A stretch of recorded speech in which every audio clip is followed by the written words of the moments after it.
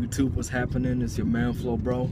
We're headed to the gym right now. It's gonna be a V-taper workout. It's gonna consist of exercises dealing with the shoulders, a little bit of chest, the back, and then abs, you know, all those things that give you that V-shaped looks. Championship is three days away, so preparing for to be both in the men's physique novice and nationals, which basically means those are veteran bodybuilders, guys who've already competed before. So I feel like I should do well. So we're gonna head to the gym, get this workout in. We're gonna move pretty fast, so keep up. If Pyros and Crips all got along, they probably gun me down by the end of the song. Seem like the whole city go against me. Every time I'm in the street, I hear yak, yak, yak, yak.